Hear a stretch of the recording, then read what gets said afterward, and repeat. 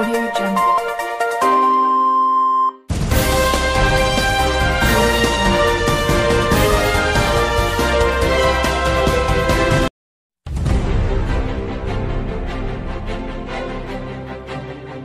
इतिहाद news को देखने से पहले सब्सक्राइब कीजिए हमारे चैनल को, लाइक कीजिए और बेल आइकॉन पर क्लिक कीजिएगा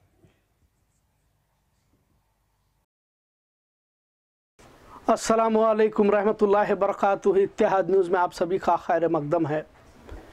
झूठ बेचा जा रहा है और सच का कोई खरीदार नहीं। दीनदारी महज रस्म बनती जा रही है।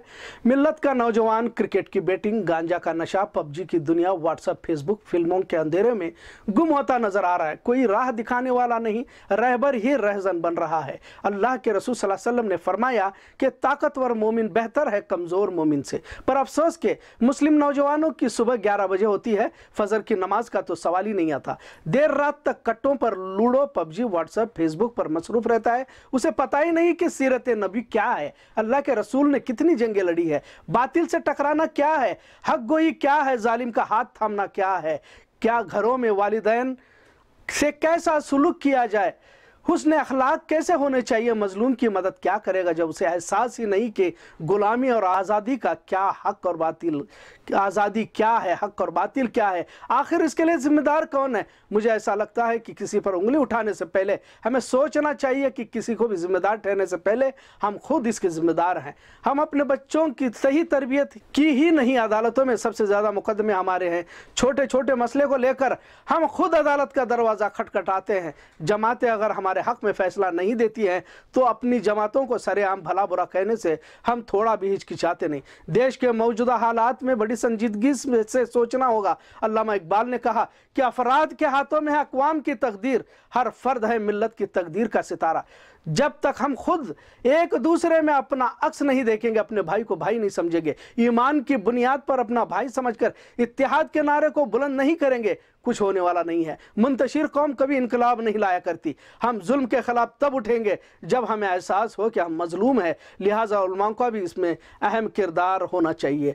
मामला में शायद ही हमसे बुरा कोई हो। सभी जानते हैं कि एक जगह कई लोगों को बेचने, एक जगह यानी कि जिस तरह से लैंड डेवलपिंग वगैरह जो बेचे जाते हैं बेलगाम शहर की अगर बात की जाए तो एक जगह कई लोगों को बेचने का हुनर हम लोगों के पास ही है। अल्लाह ने दौलत भी दी तो इसका सही इस्तेमाल नहीं करते। हलाल मुनाफे के चक्कर में करोड़ों का नुकसान तो हम बर्दाश्त करते हैं, पर किसी ज़रूरतमंद को कुछ रुपये बतौर इमदाद नहीं कर सकते।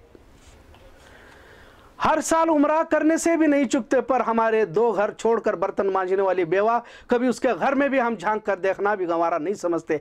क्या इसका चूल्हा भी जल रहा है? हम दिन ब दिन बेगारत होते जा रहे हैं। ईमान, इस्लाम, मुसलमान को तो कुछ पास और लिहाज हमारे अंदर है ही नहीं। हम हलाल का फ़र्क भी नहीं रहा। सूद कब प्रॉफिट बन गया और कुछ दिनदार भी इसे जायज़ समझने लगे, मालूम ही नहीं हुआ। अब बताओ कि जुल्म हम पर ना हो तो क्या होगा? जालिम हम पर मुसलत ना करे तो क्या आखिर अल्लाह तबारक व ताला हम पर आसमान से किस बुनियाद पर फरिश्ते नाजिल करेगा? एक और हमारे आज के मुसलमान की खासियत यही यही है कि हमारी बहादुरी हम आपस में ही आजमाएँगे। थोड़ी सी ज़मीन के लिए, कोई भी, किसी भी, किसी की भी गर्दन काटने के लिए तैयार रहता है। आज भी हम मसलक के इख्तलाफ से बाहर नहीं आए। दुश्मन की तैयारी हम अंदाज़ा भी नहीं कर सकते। हमारे बुज़ुर्ग असलाफ ने हमेशा बहादुरी का मुजाहरा किया। आज उम्मत बुजदिली की इंतहा पर है। फजर की नमाज़ के बाद वर्जिश, तीरंदाजी, तैराकी, घुड़सवारी करने वाली कौम 11 बजे बिस्तर तक सोई रहती है।